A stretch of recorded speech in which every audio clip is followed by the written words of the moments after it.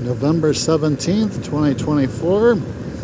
Taking the R1200R toward Byron in Oregon, Illinois. Uh, GPS took me on a little different route and surprisingly it took me on a gravel road, which it doesn't usually do if I have it set for no gravel, which on this bike I usually do.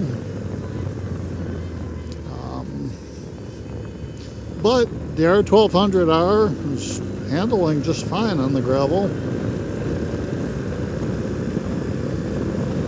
Well, maybe it is a good all-purpose bike.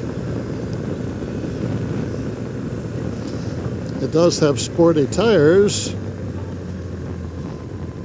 but seems to be doing fine.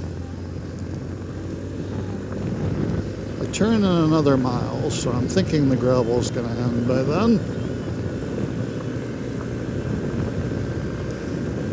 But R1200R, 2008 uh, model, seems to be doing fine on gravel.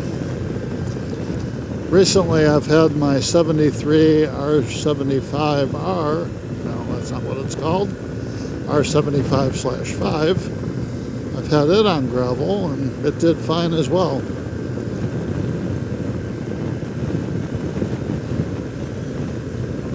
Granted, this isn't real um, deep gravel.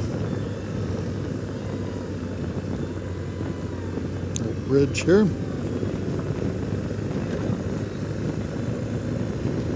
Another half mile to go.